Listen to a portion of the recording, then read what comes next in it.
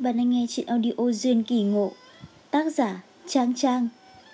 Chuyện được phát trên website chuyenaudiovv.pro Kênh MC Annie Chương 9 A-la mang theo Tiểu Ngọc xài bước dài Ngày ngang rời khỏi tướng phủ. Đã có lần đầu tiên, Sẽ có lần tiếp theo. Nàng đã dạy đầu bếp làm mấy món chay, Cùng Tử Ly khai trương tiểu lầu một cách suôn sẻ. Tiểu lầu lấy tên là Tố Tâm Trai, chỉ có mấy gian phòng riêng. Khách muốn ăn phải đặt chỗ trước cả hai tuần. Trong phủ bắt đầu bận bịu tiếu tít chuẩn bị cho hôn lễ của Thanh Lôi và Thái Tử. Hồi đầu khi A La mới xuất phủ, Lý Tướng còn hỏi han tiến triển quan hệ giữa nàng và Tiểu Vương gia. A La ứng phó rất thận trọng, không dám sơ suất. Về sau, Lý Tướng bận chuyện chính sự, lại lo liệu hôn lễ cho Thanh Lôi dần dần lơ là A-la, không hỏi nhiều. Lưu giác cơ hồ cũng đã mất hút, không thấy lộ diện. A-la cả ngày say sưa trong niềm phấn khởi kiếm được bạc, mải mê tính toán cần bao nhiêu thời gian có thể thu xếp cuộc đào tẩu đây. Không bị lưu giác quấy dày, A-la và Tử Ly có thời gian học cưỡi ngựa, cuộc sống ngày càng thoải mái vi vu. Tử Ly không biết A-la đã biết thân phận của mình, không hề đả động đến chuyện đó. Ala cũng không hỏi.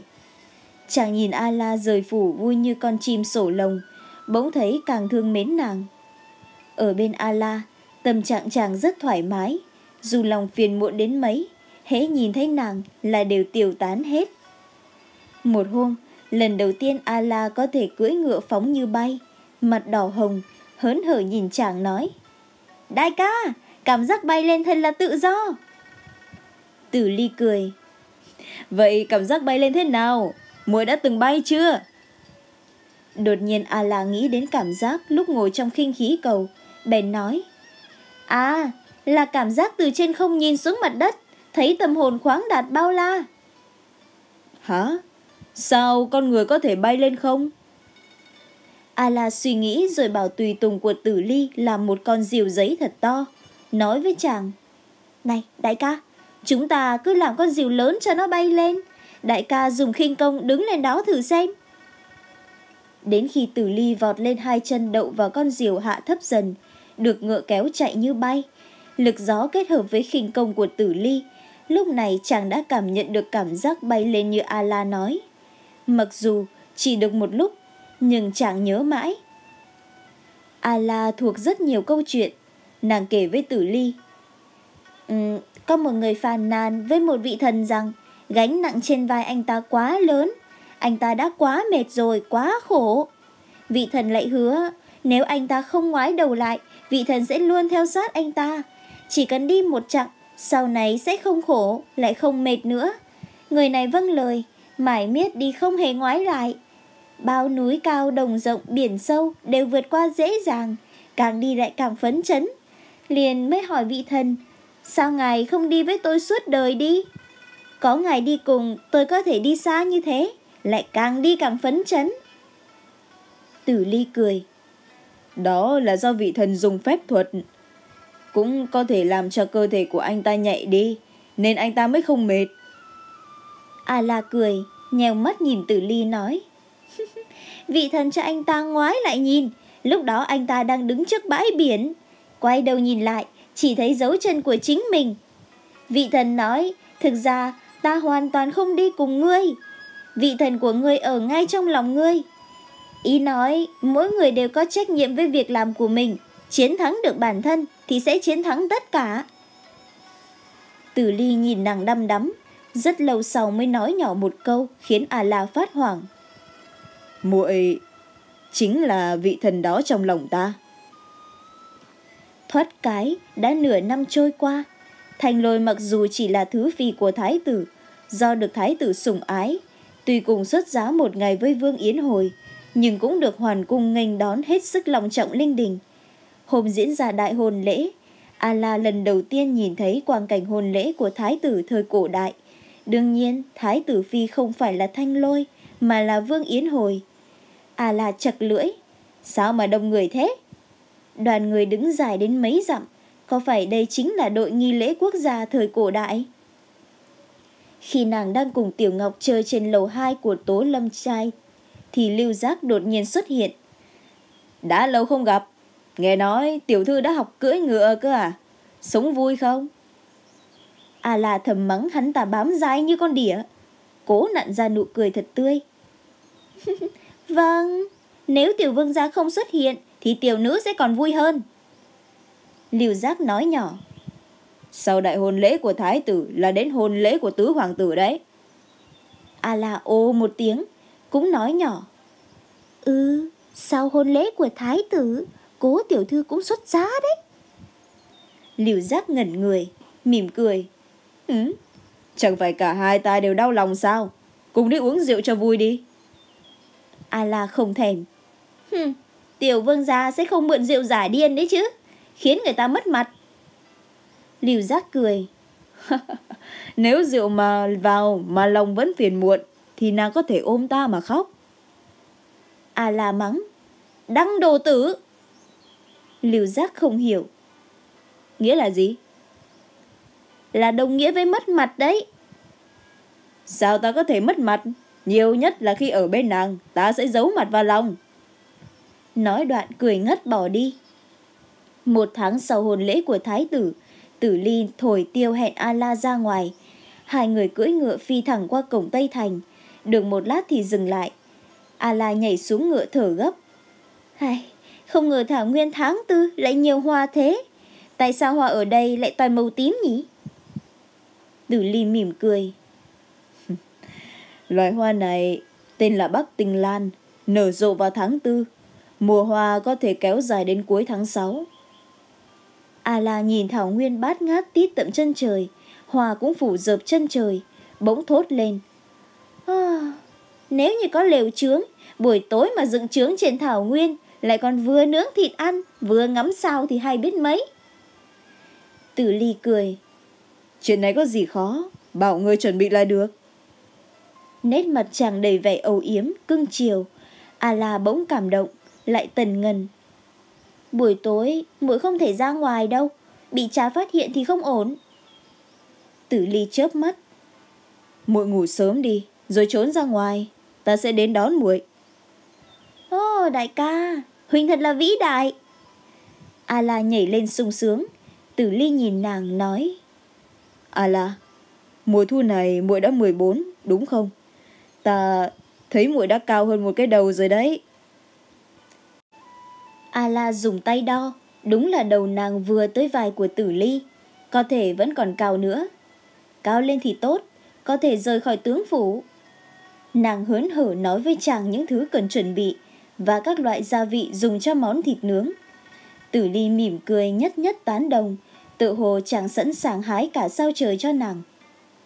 Tối hôm đó, đợi mọi người ngủ cả, A La khóa trái cửa, lặng lặng nhảy qua cửa sổ, đi qua sân thật khẽ. Tử Ly đã đứng đợi trong rừng trúc, hai người bịt miệng cười. Tử Ly cùng nàng vượt tường, cổng thành đã khóa, chàng dẫn nàng loanh quanh qua mấy khúc thành, không biết cuối cùng chui ra bằng lối nào. Chàng cười nói. Ninh quốc quả là cổ kính, luôn ẩn giấu những bí mật không ai biết. May mà ta biết con đường bí mật này. A la cũng cười, thầm nghĩ, chàng là tứ hoàng tử của Ninh quốc, bí mật này chàng không biết mới lạ đấy. Hai người phi ngựa trên thảo nguyên, trên đầu sao dày đặc, nhấp nhánh, ánh trăng rất sáng, bầu trời không một gợn mây. Phi một hồi đã nhìn thấy ánh lửa. Tùy tùng của tử ly đã chuẩn bị xong xuôi, thấy hai người đến, họ lẳng lặng rút vào màn đêm. À là nướng thịt trên đống lửa, vùi khoai trong cho. Hai người vừa gặm xiên thịt vừa nói chuyện. Tử ly hỏi A la. Nếu nàng biết ta là hoàng tử của Ninh Quốc, thì có qua lại với ta nữa. A la nói. Hmm, chẳng phải muội đã qua lại với huynh từ lâu rồi sao hả đại ca? Hay là muội nên gọi huynh là Lưu Phi? Hả? Muội đã biết rồi à? Ừ, Lưu Giác cho muội biết. Vậy sao không hỏi ta? À là cứ cúi người bới khoai. Ây à, nóng quá, cầm đi. Nàng cầm củ khoai lảo đảo lại trên tay cho bớt nóng, rồi ném cho tử ly. Thì muội đã nói rồi mà, Nếu Huỳnh muốn sẽ tự nói ra Không muốn nói thì muội hỏi làm gì Tử ly thong thả bốc vỏ khoai Đưa cho A-la Đón lấy củ khác rồi lại bóc tiếp Vậy muội cũng biết hôn sự giữa ta và cố thiên lâm A-la vừa ăn vừa nói. Ừ đúng muội đã biết rồi. Tử ly nói. Vậy muội thấy cố thiên lâm thế nào? À rất đẹp Kiêu ngạo rồi thông minh. Ấn tượng của muội về nàng ấy khá tốt. Muội quen nàng ấy thế nào? A la ăn rất hào hứng ngồi nằm xuống ngắm sao. Thì trong đào hoa yến thiên lâm chơi khúc bội lan tựa lúc và chơi đàn đều thượng hạng dùng tiếng đàn bộc lộ tâm tư làm say lòng bao người. Đến bây giờ nàng ấy vẫn còn fans. À những người hâm mộ đấy. Nhưng tại sao thái tử lại chọn lệnh tỷ mà không chọn nàng ấy? A la không biết nói sao tử ly tiếp tục. À, thì nghe nói khúc thu thủy của lệnh tỷ khí thế áp đảo tiếng đàn thì phiêu diêu tấm lòng lại rộng mở có khí ngút cao xanh khí độ phi phàm. Tử ly lại nói, tuy nhiên, vừa rồi ta có việc đến đông cung, nhìn thấy lệnh tỷ, thái tử lại rất phấn khởi, bảo nàng ấy dạo thử một khúc. Ngón đàn tuy phi phàm, nhưng cũng không được như lời đồn. A la đành giải thích, thì từ sau khi tỷ tỷ được gả cho thái tử, một lòng chỉ muốn giữ bổn phận một hiền thiết, không như thời còn là khuê nữ đâu. Tử ly nói nhỏ à là muội thích cố tiểu thư đúng không ừ lúc đó muội còn gọi nàng ấy là thiên lâm tỷ tỷ tử ly cười vậy thì a la um, muội muốn cưới một phu quân thế nào A La nghĩ đến câu hỏi vui về các bà vợ như sư tử Hà Đông, lại nghĩ đến tâm nguyện của các bà mong chồng vinh hiển áo gấm sông Hương. Nghĩ đến nhiều chuyện tình đã xem, cười nói. Không biết, muội chưa yêu bao giờ, nhưng mà... Nàng dừng lại, cười cười không nói, nhìn sao trên trời. A La lại tiếp. Được quen biết đại ca thì là một điều may mắn, muội đã tưởng ở đây muội sẽ không quen được đấng trượng phu nghĩa hiệp nào. Mắt tử ly dần dần sáng lên. A la nói, hmm, mắt Huỳnh rất sáng, như là ngôi sao trên trời á. Đại ca, Huỳnh rất tuấn tú. Đúng vậy đấy, rất tuấn tú. Tử ly nhìn trời. Thuở nhỏ, mẫu hậu thường bế ta ngắm sao trời. Nói mắt tử ly sáng như sao, Tuổi nhỏ ta rất là nghịch ngợm. A la nghe Tử Ly kể chuyện những ngày thơ ấu của chàng. Nghe mãi, dần ngủ thiếp lúc nào không biết. Tử Ly ngây người nhìn nàng, kéo mền đắp cho nàng, gối đầu nàng lên đùi mình, ngừng nhìn sao chi chít trên đầu. Thầm nghĩ, nếu không phải bận tâm tới việc triều chính, cứ như thế này thì tốt biết mấy. Khi A La và Tử Ly vượt tường ra khỏi phủ trốn ra ngoại thành, liều giác trong vương phủ cũng được bẩm báo. Hôm nay không giống mọi lần, liều giác cảm thấy bất an, phiền não. Cứ nghĩ đến cảnh A-la và tứ hoàng tử qua đêm trên thảo nguyên, chẳng thấy buồn vô hạn. Ngơ ngẩn đi lại trong tùng phong đường, lặng ngắm nhìn bức tranh trên tường, cuối cùng gọi Lưu Anh nói. Cho triệu huyền tổ và xích tổ, ta muốn ra ngoại thành. Lưu Anh nghe Lưu Giác nói muốn triệu huyền tổ và xích tổ, lòng lấy làm kinh ngạc lén nhếch nhìn sát khí ngấm ngầm trên mặt chủ nhân. Đang đêm khuya chúa thượng muốn ra ngoài thành là bởi vì tam tiểu thư của tướng phủ lại hẹn hò với tứ hoàng tử. An Thanh Vương thân nắm trọng binh. Đội ô kỵ trong vương phủ được tạo ra do tiên đế ban chỉ, gồm những binh sĩ quyết tử chỉ nghe mệnh lệnh của vương phủ. Ngoài An Thanh Vương, chỉ có tiểu vương gia có quyền điều động. Bình thường không ai biết đội quân này trú ở đâu. Ô y kỵ có năm tổ, Năm xưa, khi hộ vệ Ninh Vương đăng cơ, cũng chỉ điều động bốn tổ. Hôm nay lại điều động tới hai tổ kỵ binh. liêu Anh tự dưng thấy căng thẳng bội phần. Sau nửa canh giờ, tại Tùng Phong đường của Vương Phủ đã có hơn trăm bóng người lặng lẽ tập hợp. Đội quân vận bộ y phục xanh sẫm, bịt mặt màu đen, áo giáp mềm màu xanh tía là huyền tổ, xích tổ vận binh phục màu tiết dê. Họ lẫn vào màn đêm, nếu không nhìn kỹ thì không thể thấy. liều giác lạnh lùng ra lệnh tối nay ta đi săn trên thảo nguyên huyền tổ theo hầu xích tổ tiếp ứng hơn trăm bóng đen trước mặt nhất loạt quỳ xuống khẽ đáp. Tuân lệnh. Từ lúc tập hợp đến lúc xuất phủ đội quân hơn trăm người hầu như không phát ra một tiếng động. Võ ngựa đã bọc vải phi như những cơn lốc đến cửa thành phía nam. Lính gác bị lưu giác đánh thức mắt vừa liếc nhìn chân đã mềm nhũn quỳ sụp trên đất hoàn toàn không biết đám người này xuất hiện lúc nào. Lưu giác không nhiều lời tay vừa vung lệnh bài xích lòng lóe sáng đây là lệnh bài chạm rồng màu đỏ, do tiền đế ngự ban cho an thanh vương trước lúc băng hà. Khi triều đình có biến, người cầm lệnh này sẽ có quyền sinh quyền sát, có thể trực tiếp cai quản, chấn phủ long thành. Không ngờ hôm nay lưu giác chỉ vì muốn ra khỏi phong thành đã dùng đến lệnh bài ấy. Lính gác vừa nhìn thấy lệnh bài xích long, liền lập tức mở cổng thành. Đoàn người quất ngựa lao về hướng thảo nguyên, giống như những đám mây đen bay vun vút dưới trăng lính gác hòa mắt nhìn theo nghe thấy người cưỡi ngựa đi sau cùng lạnh lùng ra lệnh. Các người cứ việc ngủ đến sáng hãy coi bây giờ đang là mộng du hiểu chưa?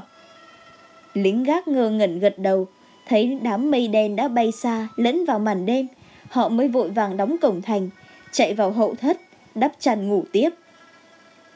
Khi đội quân rời khỏi phong thành năm dặm liều giác vẫy tay xích tổ chia nhóm rời khỏi đội hình mất hút trong thảo nguyên.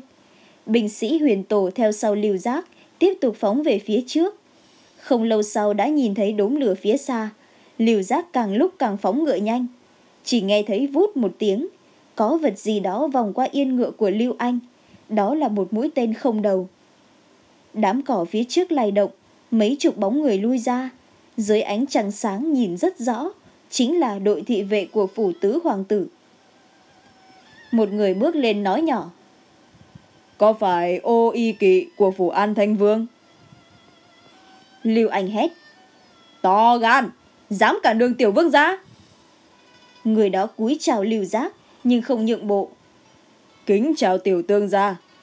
Chúa công chúng tôi đang nghỉ ngơi ngắm cảnh, phiền tiểu vương gia đi đường vòng. Lưu anh giận tức hét. Làm gì có chuyện đó? Tiểu vương gia chúng ta muốn đi săn trong đêm các người dám ngăn cản.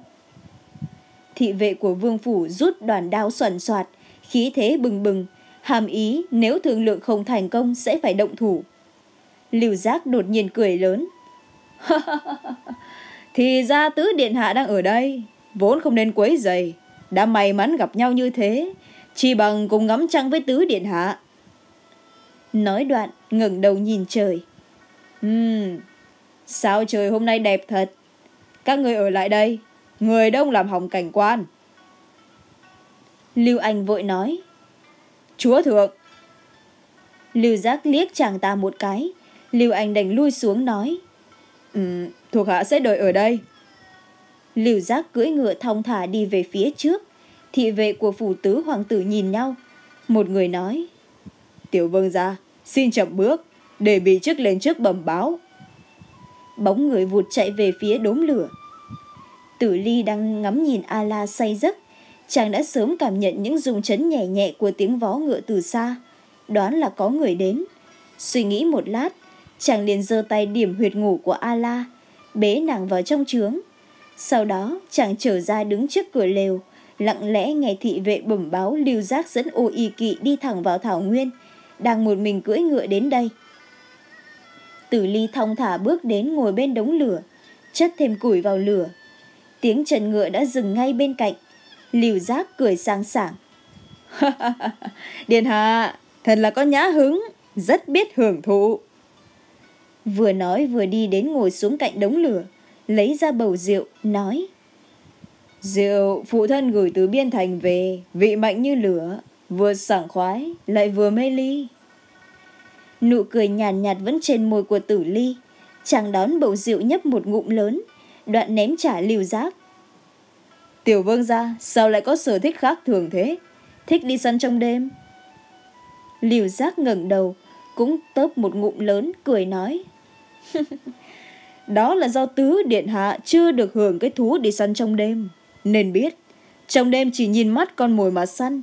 Quả thực kích thích hơn nhiều so với săn ban ngày. Tử ly lơ đãng nói. Ừ, đêm nay tiểu vương gia đã nhìn thấy mắt con mồi chưa? Mắt liều giác liếc nhanh vào trong trướng, cười lớn. con mồi sợ mũi tên của ta, nhắm mắt đã ngủ rồi. Tử ly cười nhạt, vườn vai. con mồi đã ngủ, xem ra đêm nay tiểu vương gia trắng tay ra về rồi. Liều giác đứng dậy, cũng vườn vai cười. Uhm, xưa này ta chưa bao giờ trắng tay ra về, chỉ cần đánh thức con mồi là xong. Nói đoạn, nhón chân định đi về phía lều. Thoát cái, tử ly đã đứng lên chắn cửa lều. Tiểu vương gia hãy ra khỏi thảo nguyên mà săn, bản vương không tiễn. Liều giác lạnh mặt nói. Ta nhìn thấy đôi mắt lóng lánh trọng trướng, lạnh chạy lung tung trong trầm trướng của điện hạ là không hay. Để ta tóm ra đây. Giờ tay định vén rèm, bàn tay tử ly đã chặn lại, cười. Chuyện trong trướng của bản vương khỏi phiên tiểu vương xa phí sức. Lưu giác cười gằn, Điện hạ có thể thỏa mãn một chút tính hiếu kỳ của ta không? Bóng hai người vụt lay động, cánh tay vun lên. Đột nhiên vù vù, hai tiếng gió phát ra từ những cánh tay đập vào nhau. Chỉ nghe ầm một tiếng, chiếc trướng sụp đổ. Tử ly kinh ngạc, lao vào trong bế A-la đang nằm cuộn trong tấm mền. Liều giác dừng tay. Ồ, thật là có lỗi. Thì ra tứ điện hạ đã tìm thấy chi kỷ trong đêm thảo nguyên.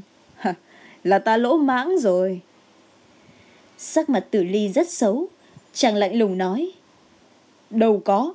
Tiểu vương gia nếu vẫn còn nhã hứng, chỉ bằng ta uống thêm chén rượu. A-la đang ngủ say, chúng ta không nên quấy rầy nàng. Lưu giác liếc nhìn mặt A-la, biết nàng đã bị điểm huyệt vẫn đang say ngủ.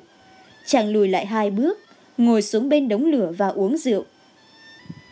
Mấy tùy tùng của phụ tứ hoàng tử không biết từ đâu xuất hiện, nhanh nhẹn thu dọn chiếc trướng vừa đổ, xong xuôi lại biến mất. Trên thảo nguyên yên tĩnh chỉ còn tiếng củi nổ lép bép trong đống lửa lớn đang cháy rừng rực.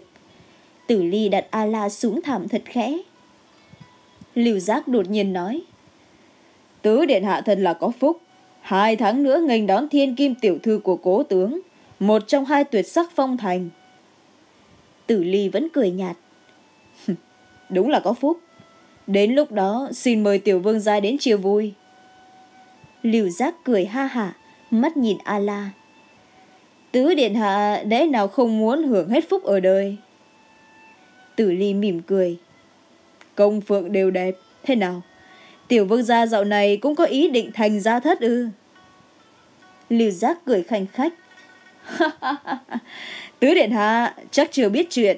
Năm trước tôi đã có lời cầu thân với Lý Tướng. Lý Tướng vui vẻ đã nhận lời rồi. Chỉ chờ đợi ái nữ đến tuổi cập kê là đến rước về. Nụ cười ngưng lại trên môi tử ly. Chàng trầm ngâm giây lát, lại mỉm cười nói. Xem ra không chỉ một mình bản vương muốn cầu thân với Lý Tướng. Một nữ nhi không thể gả hai chồng. Lẽ nào Lý Tướng định cùng lúc dẫm lên hai con thuyền? Lưu giác nhìn mặt tử ly, thấy chàng thản nhiên nhìn lại, không có vẻ đang nói dối, đột nhiên không hiểu thực hư thế nào. Nghe đồn lý tướng bán tính xảo quyệt, mưu tính rất sâu. Lẽ nào ông ta đã gả một cô con gái cho thái tử, lại còn muốn gả một cô nữa cho tứ hoàng tử. Sau này bất luận ai nối ngôi, ông ta cũng ung dung hưởng lợi. Liều giác trong đầu suy nghĩ rất lung tung, nhưng nét mặt vẫn cố dặn ra để cười. Chuyện này phải làm thế nào đây, tứ điện hạ? Lẽ nào hai chúng ta phải tỉ thí phần cao thấp? Chuyện mà đồn ra ngoài chẳng phải là khó xử lắm sao? Tử Ly đã hiểu ý của Lưu Giác. Người khó xử đương nhiên là cố tướng. Ái nữ còn chưa gả đi, chàng rể quý hóa đã cầu thần với Lý tướng. Cái mặt già của cố tướng biết để vào đâu. Hơn nữa, cố thiên lâm là phi tử được Ninh Vương ban hôn. Nếu chẳng làm vậy, há phải là không nể mặt phụ hoàng. Tử ly cười nhạt. À là còn hơn một năm nữa mới đến tuổi cập kê. Hãy để nàng tự quyết định. Nói đoạn, mắt đột nhiên trở nên sắc lạnh. Ánh mắt quét qua mặt liều giác. Bản vương không muốn có chuyện cưỡng ép xảy ra. Liều giác thấy rất hay, lập tức tán đồng, cười lớn. Ừm, Doãn Chi, đâu phải người không biết thưởng thức. Dưa chín ép không có ngọt. Đương nhiên nếu tứ điện hạ và cố tiểu thư phụ phụ tình thâm, thay đổi chủ ý, thì đừng có quên nói với ta một tiếng. Lưu giác đứng dậy nhảy lên ngựa, nhìn thấy những quầng sáng le lói phía chân trời, thốt lên. Phong cảnh nơi này quả thực là quá đẹp. Nói đoạn, chàng ra roi thúc ngựa. Tử ly đột nhiên nói. Nghe đồn, tùng phong đường của tiểu vương gia vẫn treo bức họa. Có phải muốn tranh với bản vương? Lưu giác sững người. Tử ly nói tiếp. Nếu đúng vậy, bản vương khuyên ngươi, không nên có chủ ý với A-la nữa. Lưu giác cười lạnh lùng. Tứ Điện Hạ tốt với A-la như thế, Điện Hạ đang thương nàng ấy như vậy, lẽ nào để A-la chịu tủi phận làm thứ thiếp? Dứt lời, không đợi hồi âm, chàng liền quất roi, ngựa hí một tiếng vút đi. Tử ly ngẩn người, buông tay nhìn những vệt sáng phía chân trời, một ánh hồng dần dần lan ra khắp chân trời, bất giác thở dài. Chàng vẫy tay, tùy tùng dắt ngựa đến. Chàng ôm A-la lên lưng ngựa phi về thành. Gió ù ù bên tai, thảo nguyên sáng sớm sáng tháng tư vẫn còn xe lạnh. Hai má A-la phớt hồng, mắt vẫn nhắm nghiền. Tử ly ôm giết vào người, hơi ấm truyền ra từ cơ thể mềm mại của A-la, khiến lòng chàng không còn trống trải. Đi vào trong tướng phủ, chàng đánh thức A-la. A-la, đến phụ rồi, dậy thôi. A-la dụi mắt. Hmm, đại ca, mượn ngủ say quá, không thức với đại ca được. Lại phiền đại ca phải đưa về tận phủ. Tử ly cười dịu dàng. Sau này đại ca sẽ đưa muội đi ngắm cảnh đẹp hơn nữa. Muộn rồi, về đi. A la nhìn tử ly, lòng vui lâng lâng. Tử ly tốt với nàng thật. Nàng vẫy tay với chàng. Đại ca, tạm biệt. Dứt lời, quay đầu chạy khỏi rừng trúc. Tiểu Ngọc đã dậy, thấy A la chạy từ bên ngoài vào, bèn nói. Tiểu Ngọc đẩy cửa, thấy đóng chặt, tưởng là tiểu thư chưa có dậy. A la giơ hai tay cười. ta đến dừng chức luyện công. Rồi véo má Tiểu Ngọc nói. Này, lấy hộ ít nước nóng đi, ta vẫn chưa rửa mặt. Sau khi Tiểu Ngọc đi khỏi, A la nhìn trước ngó sau, lại nhảy qua cửa sổ vào phòng, mở cửa. Ngồi trước gương, nàng nghĩ lại cảnh thảo nguyên trong đêm và tâm trạng đầy phấn khích của mình trước cảnh tượng mình màng huyền ảo đó. Bất giác mỉm cười. Lòng thầm nhủ, nếu không bị lý tướng bắt ép lấy người có chức có quyền, không có những quy tắc lễ nghi ngặt nghèo, được sống tự do trên mảnh đất tươi đẹp này cũng thực là dễ chịu. Nhưng cuộc sống đâu phải lúc nào cũng như ý. Và lại, đây đâu phải là thời hiện đại. Mình muốn làm gì thì làm. A la thở dài, cuộc sống thoải mái tự do này, được ngày nào hay ngày đó. Ai biết chuyện gì sẽ xảy ra. Việc cần làm gấp bây giờ là nhanh chóng rời khỏi tướng phủ. Ala dùng xong bữa sáng, đợi thất phu nhân đi thỉnh an trở về. Nàng nói với bà. Mẹ à, bây giờ bạc đã đủ rồi, chúng ta trốn được chưa? Thất phu nhân tươi cười. Tam Nhi à, chúng ta trốn thế nào? Hiện vẫn chưa có kế hoạch vẹn toàn, không thể khinh suất manh động đâu. Nếu không, chúng ta chạy được bao xa đây? A la cũng cười. Còn biết, chỉ là con quá nóng ruột muốn đi. Mẹ yên tâm, sẽ không có sơ suất gì đâu. Bây giờ đã có ngân lượng, ít nhất cũng còn thời gian một năm, đủ để chúng ta vạch định kế hoạch chu đáo, chuẩn bị tốt mọi thứ. Thất phu nhân mỉm cười hài lòng.